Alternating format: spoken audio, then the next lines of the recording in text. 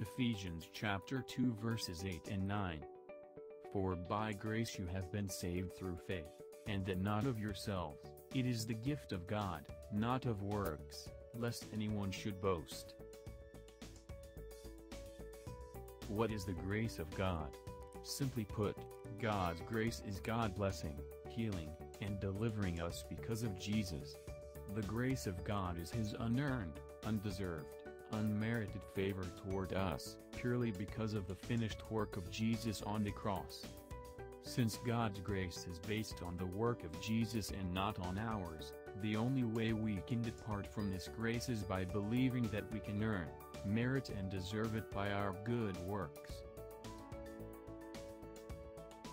For example, you fall from grace when you think that God would have to fulfill your prayers, because you have prayed long enough. You also fall from grace when you think that God is happy with you, and he is obligated to bless you, because you are serving in the church, or you have eliminated bad habits. When you believe that through your efforts and obedience you will earn the blessings of God, you will become like the Pharisees. They claimed that their law-keeping justified them, and that God would bless them. But the truth is, when you think like that, you have become estranged from Christ, you who attempt to be justified by law, you have fallen from grace. This indicates that you have fallen from the finished work of Christ.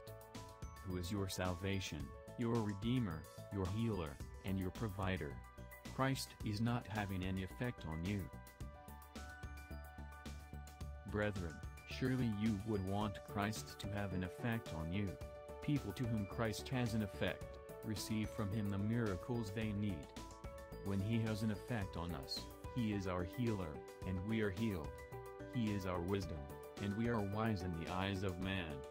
He is our good success, and we encounter good success in everything we do.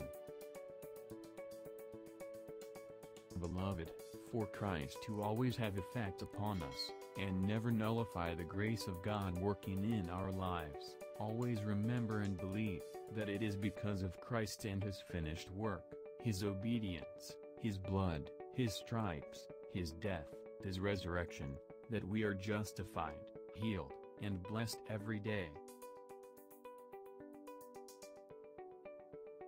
Thanks for watching. Please don't forget to like and comment. Feel free to share with someone who needs strength right now.